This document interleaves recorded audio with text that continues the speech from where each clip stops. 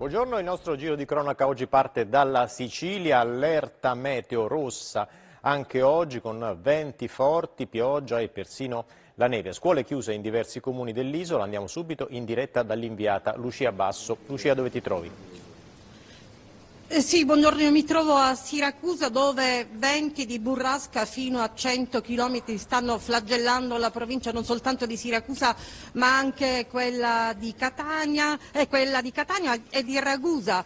Eh, pioggia incessante è quello che preoccupa in questo momento appunto a causa del ciclone del Mediterraneo, eh, l'esaltazione dei torrenti e dei fiumi, eh, tant'è che già alcune famiglie sono state costrette, si, si sentono mentre fulmini e tuoni, alcune famiglie hanno eh, dovuto lasciare le loro abitazioni perché si sono talmente ingrossati i corsi d'acqua come l'Anapo e il Mortellaro che alcune famiglie hanno hanno dovuto lasciare le proprie case. Noi qui ci troviamo all'interno di una scuola dove eh, l'amministrazione comunale ha um, deciso di ospitare tutte le famiglie che hanno dovuto eh, lasciare appunto le proprie abitazioni. Ecco, ci vediamo, qui si sta allestendo, ci sono le prime famiglie che sono arrivate, eh, si sta con l'assessore comunale, si stanno preparando anche eh, il, di rifocillare eh, queste persone e eh, ehm, eh, le strade sono allagate, stanotte c'è stato anche un soccorso di due persone eh, che rischiavano di essere inghiottite eh, dal in, rimanere intrappolate all'interno delle loro auto e alle 9.30 la prefetta di Siracusa Giusi Scaduto ha anche attivato il centro di controllo. Siamo con il sindaco Francesco Italia, com'è la situazione?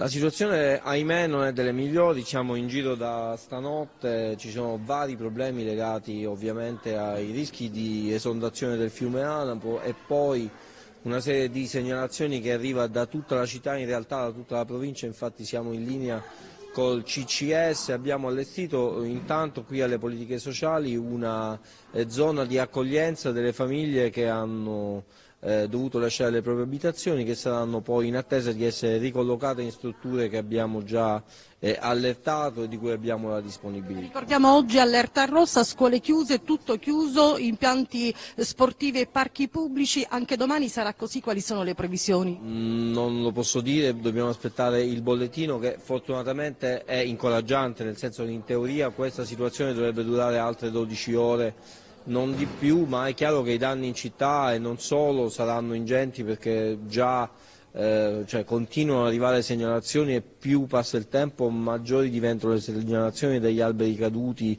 agli impianti della, delle pubbliche affissioni. Smottamenti, frane? Eh, sì, muri crollati, cornicioni, sto ricevendo tantissimi messaggi anche da proprietari di casa e quindi insomma tutto quello che avviene in condizioni di clima così eh, avverse. Grazie Sindaco. E ricordiamo anche comunque, come dicevo, questo ciclone eh, sta interessando la Sicilia orientale. Eh, sono stati cancellati i voli eh, all'aeroporto Fontanarossa di Catania, così come sono isolate le olie eh, in montagna, sull'Etna, sui Nebrodi, a quota eh, più o meno 500 metri c'è la neve. Stanotte sono stati fatti anche degli interventi sull'Etna per mh, salvare delle persone persone che erano rimaste eh, bloccate nelle loro auto e per ora è tutto, vi restituisco la linea. Grazie Lucia Basso.